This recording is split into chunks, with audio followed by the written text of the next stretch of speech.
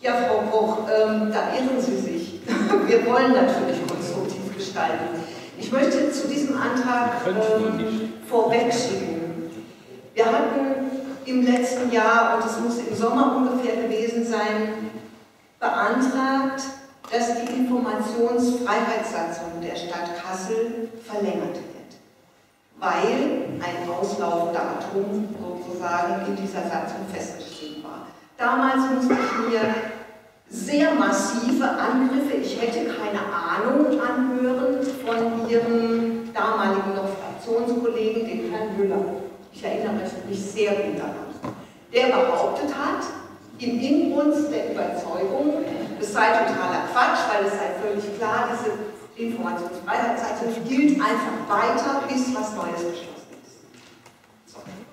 Inzwischen hat sich herausgestellt, dass es falsch war und Sie haben inzwischen die Verlängerung beschlossen. Die Stellplatzsatzung der Stadt Kassel wäre nach unserer Meinung und nach der Überzeugung von Herrn Müller damals auch einfach weitergelaufen. So lange, bis was Neues beschlossen ist. Das sind diese Nachwirkungsparagraphen, die ganz üblich sind in solchen Festlegungen. Stattdessen, also davon konnten wir ausgehen, wir sind ja auch jetzt nicht eine Riesenfraktion, die Verwaltungsunterstützung hat. Stattdessen haben wir in der HNA gelesen, dass die Stellplatzsatzung ausgelaufen ist.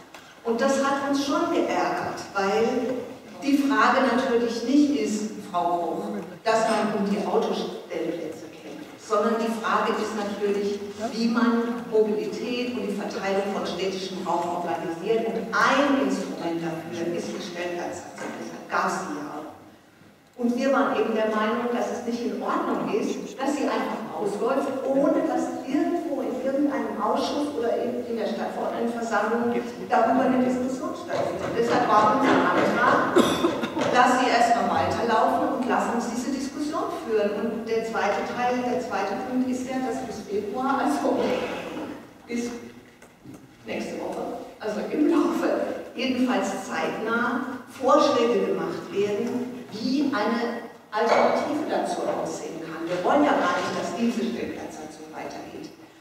Ich bin übrigens in der Ausschussdiskussion, das war, unser Antrag stammt ja aus dem Oktober letzten Jahres, also das hat sich ja noch ein bisschen Verzögerung jetzt so hinausgezogen.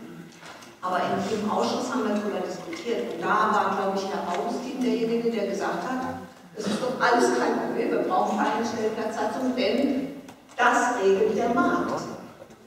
Und das finden wir einfach falsch. Natürlich, es wird so sein. Die Investoren, die irgendwie was auf der Kante haben und die Einfluss haben und die mit der Stadtverwaltung ähm, Tacheles reden und sich durchsetzen können, die werden ihre Vorstellungen viel leichter durchsetzen können, wenn nichts geregelt ist.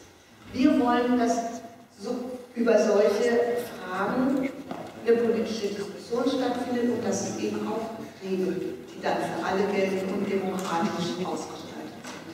Das ist unser Anliegen und Sie wissen ganz genau, dass wir uns wirklich dafür einsetzen, dass wir mehr Fahrradstellplätze, mehr Bäume und so weiter kriegen. Und auch sowas kann man in einer solchen Stellplatzsatzung festlegen. Aber dass sie einfach ausläuft und alles so tun, als wenn es das Normalste der Welt wäre und dann noch gesagt wird, das regelt der Markt, das wollen wir einfach nicht